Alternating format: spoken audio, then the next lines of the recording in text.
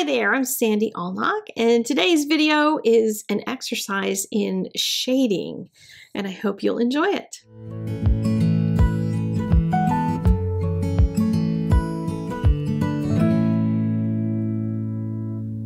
I'm coloring this in Prismacolor pencils. These are the very small selection of colors used for this entire card, and I wanted to share it with you in kind of sped up form, but you can do this kind of thing in any medium.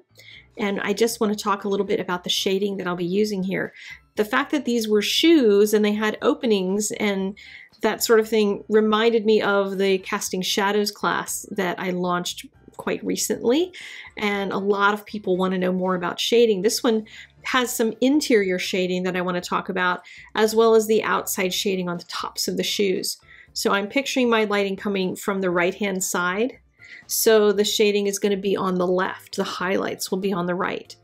And I chose to use a brown color because if you've been around dogs like I have, and if these are your park shoes, they're going to be brown. There's going to be brown all over them because that's what happens to all of my shoes that go with us to the park including all those areas inside the laces. Those are going to be the darkest shadows because they're deepest down underneath. They're furthest away from the light.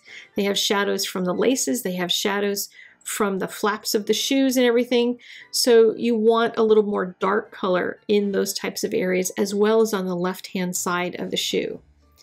For my transitional mid-tone color, I'm using more of a golden, warm kind of a yellow going over top of the brown as well as into the, the brighter yellow area. That's going to give it that roundness.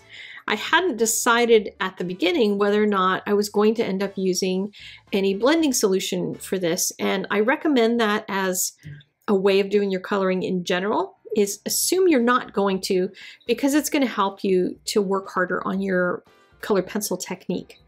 If you're one of those people that doesn't try something until you have to, until you're forced to, like if you're taking the color pencil jumpstart class, when I made you do things in the class because that was your homework, this is one of those ways to just constantly remind yourself of your skills and working on those basics. Because in any kind of art, when you work on those basic skills, it's going to play out into everything you do.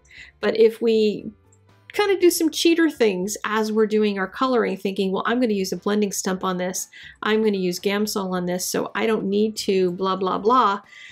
Then you're going to lose the ability to learn the, the very simple blending techniques that are going to give you like in this shoe, a larger area that's going to go from light on the left-hand side to a darker color on the right-hand side. And if you challenge yourself to still do that and still try to create some semblance of light area to dark area and to get it relatively smooth, although with a shoe, again, these are dirty shoes. They have would have my feet in them. So I, I do have to get some yellow shoes like this. I think that would be really fun to take to the park, but I digress. But I do recommend practicing your pencil technique. Now this is done on the drawing paper that I've been recommending and if you are one of those people that has not tried it yet, it's called Stonehenge and this is the Stonehenge White and I really, really, really recommend it for color pencil.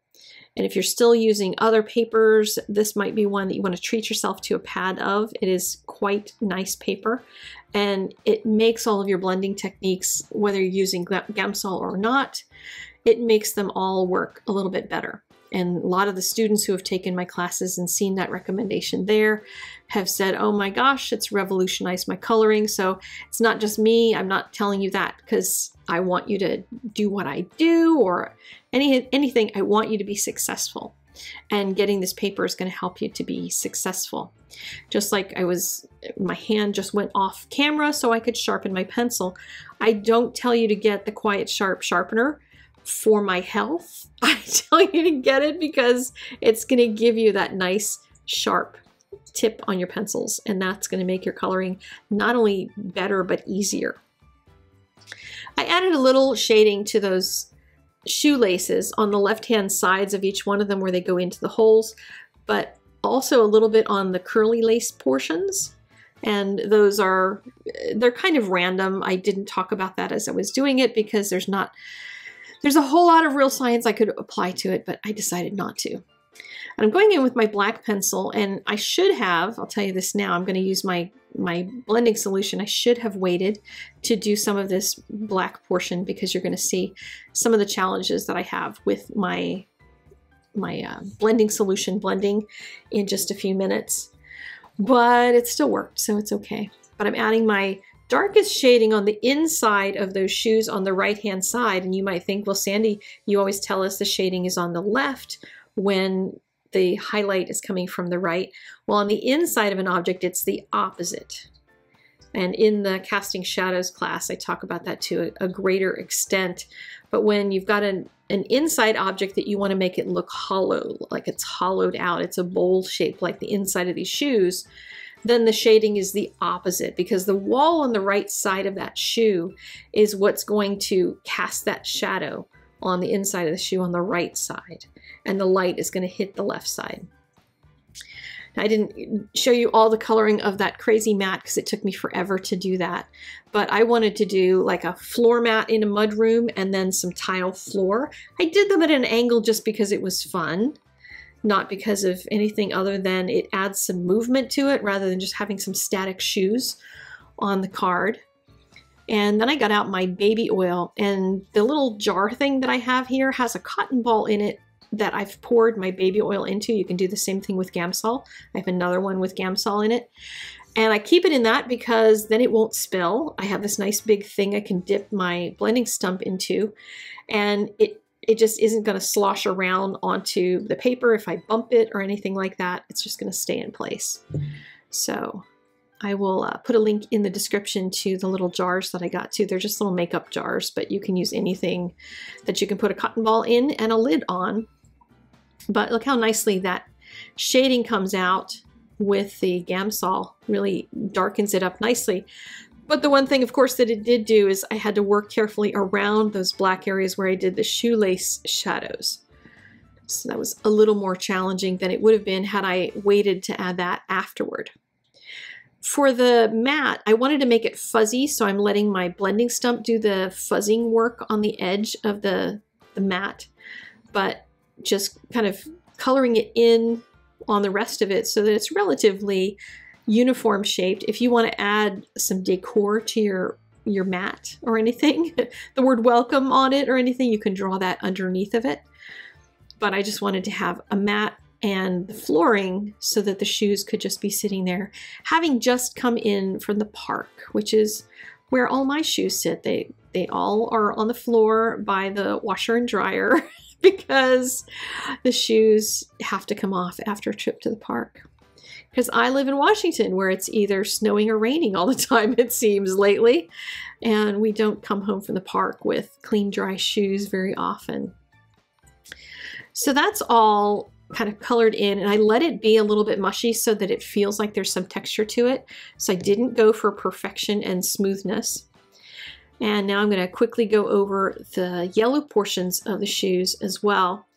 And with each one of these, if you're transferring your color, like here I was going to use the brown color in the shading portions on the yellow anyway, so I didn't have to clean my nib off on my blending stump, but I did clean it off in between the, the gray portion inside the shoes and the brown part because I didn't want to transfer that color. So be aware of what color is on the end of it. You can scribble it off on a sheet of paper or use a little sanding block to sharpen it up as well as clean that off. I'm adding some more dark shadows on the left sides again where the, the light is casting a shadow onto the mat itself and following along where I think the the curve of each one of my shoelaces is going to go. And again, there's a lot of science you could apply to this to try to make it look perfect, but I like to just think about it as making it believable. Just so that people think, oh wow, look, she did that shadow a little bit away from where the shoelace is, so it looks like there's air between it, and that's good enough for me. I don't worry about whether somebody's going to go, the light wouldn't do that. That shadow would go over to the left more. I just look to make it believable. I added a little sentiment to it out of some black cardstock, a hello by Ellen Hutson from the one of the recent releases.